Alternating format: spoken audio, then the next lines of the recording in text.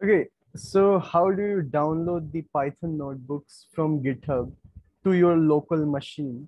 I'm not talking about the Google Colab, but how do you download them on local machine? So for that, uh, what you do is first you need to sort of clone that repository uh, and then only you can do it. So you let's say you want to download this particular Python notebook uh, what you do is you clone this repository and for that you follow the following steps.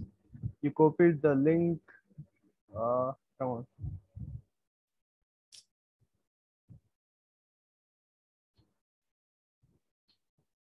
You go to your Python notebook, you write git clone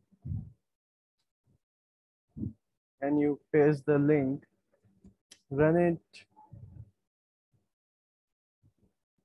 go to folders, YOLO detection. This is the basically the repository that we copied right now. And you see YOLO dot uh, ipynb. So this is the Python notebook that we wish to download on our local device. What you do is just double click it. Uh, it's taking some time to download. You can see the circle getting filled gradually uh, and it is filled now.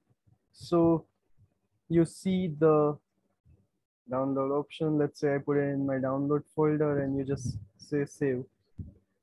Uh, now you can open this in your VS Code or in Google Colab or whatever works. So this is how you basically download the download the uh, Google Colab or any you know maybe Jupyter uh, files as well. But this is how you download the IPynb files in your local device.